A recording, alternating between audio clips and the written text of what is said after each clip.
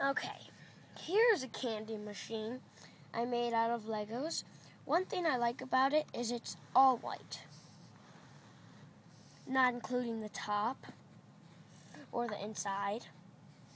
And um, this is what you do: you take one of these coins and you push it into that coin that coin slot, and you'll get a starburst out from right there.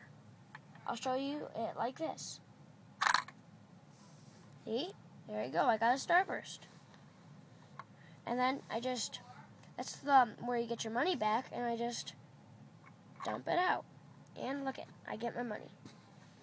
And um, now I will show you the mechanism. Okay, here is the mechanism.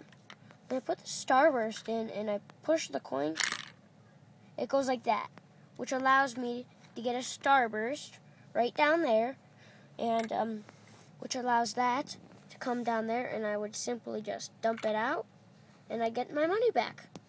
Um, please rate, comment, and subscribe and favorite. And um, thanks for watching, and that's my candy machine.